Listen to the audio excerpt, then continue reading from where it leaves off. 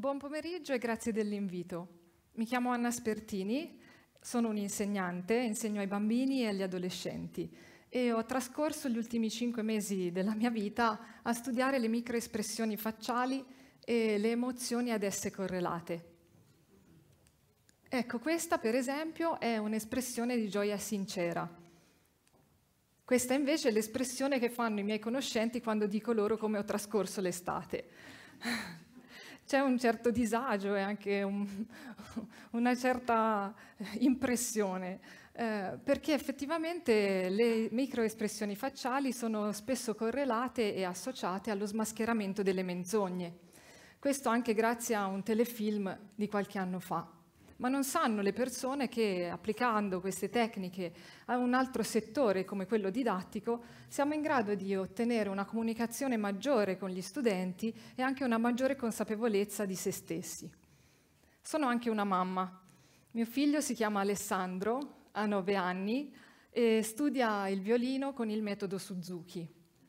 Il metodo Suzuki è un metodo innovativo nell'insegnamento della musica universalmente riconosciuto e chiamato anche metodo della lingua madre. Eh, fu creato nel secolo scorso da Shiniki Suzuki, che è un violinista e insegnante giapponese, e mm, fond- il fondamento principale di questo metodo è che tutti possono apprendere dal loro ambiente. Quindi quando crei l'ambiente giusto e stimolante, stimoli anche le stesse situazioni nello studente e così favorisci l'apprendimento. Condizione essenziale del metodo Suzuki è la partecipazione di almeno un genitore nel percorso di studio. E infatti il successo di ogni programma Suzuki sta proprio nella buona qualità di questo cosiddetto triangolo Suzuki, che è formato dalla relazione di collaborazione tra insegnante, genitore e bambino.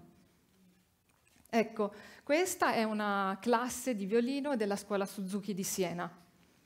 Il maestro di violino di mio figlio si chiama Alessio Nacuzzi e invia solitamente diverse email ai genitori per supportarli nel loro ruolo di genitori Suzuki e per aiutare i loro figli appunto nell'apprendimento del violino a casa. La primavera scorsa Alessio invia una mail a tutti i genitori che tra le altre cose contiene un link al sito web di Paul Ekman. Paul Ekman è un ricercatore che ha dedicato tutta la sua vita alla ricerca delle microespressioni facciali e delle emozioni ad esse correlate.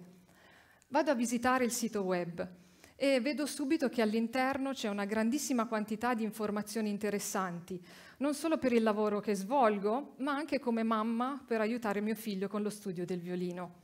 Il materiale è tantissimo ed è anche abbastanza costoso. Eh, quindi chiedo ad Alessio se è possibile condividerne la spesa. Alessio accetta e così condividiamo anche i momenti di studio. Trascorriamo l'intera estate a studiare e arriviamo a fine estate che riusciamo a conseguire il FAX Coders Certificate.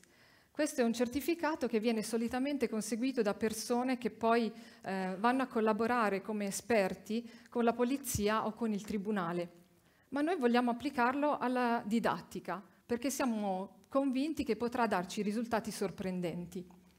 E in questo frangente conosco anche meglio Alessio, eh, conosco alcuni dettagli della sua vita e come è arrivato a Siena.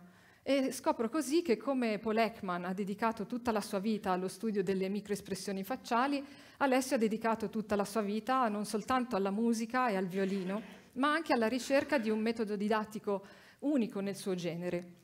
Immaginatevi infatti di prendere diversi strumenti e tecniche di comunicazione usate solitamente in settori di nicchia e di applicarli alla didattica.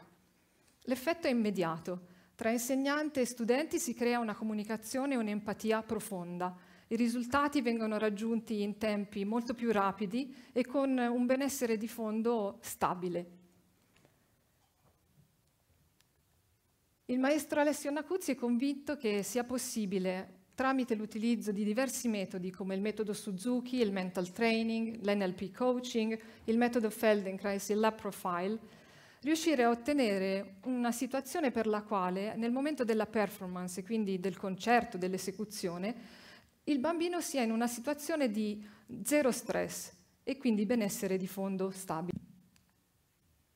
Molte università straniere e italiane si sono rivelate interessate alla ricerca di Alessio, tra queste anche il Royal College di Londra e ovviamente anche il Paul Group, che ci ha donato parte del materiale di studio. E allora il passaggio è come facciamo per definire il livello di stress nei bambini?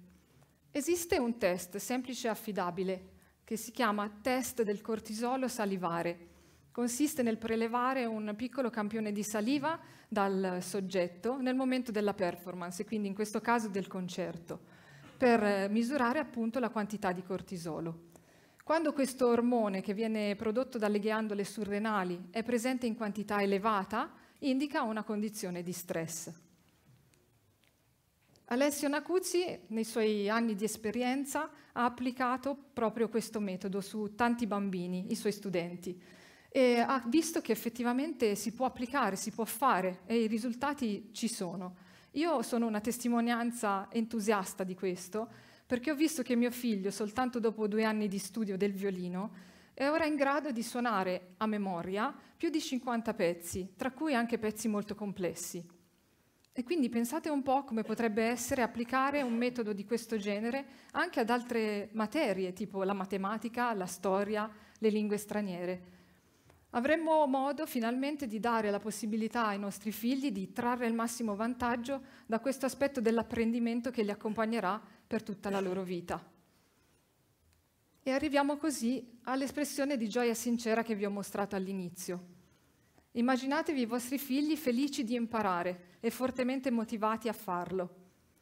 Immaginatevi anche la vostra di felicità quando realizzerete ciò che avete fatto per loro. Grazie.